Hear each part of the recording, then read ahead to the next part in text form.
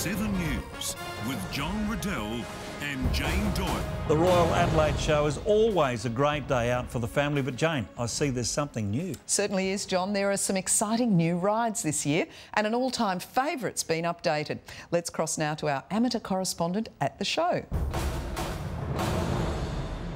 Thanks, Jane. The Royal Adelaide Show is always a favourite with ride fans.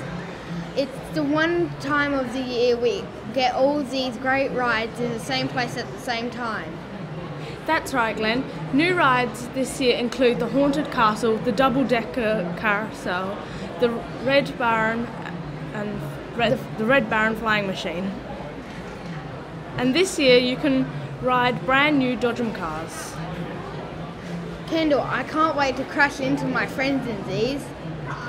Don't forget, all your show favourites will be back.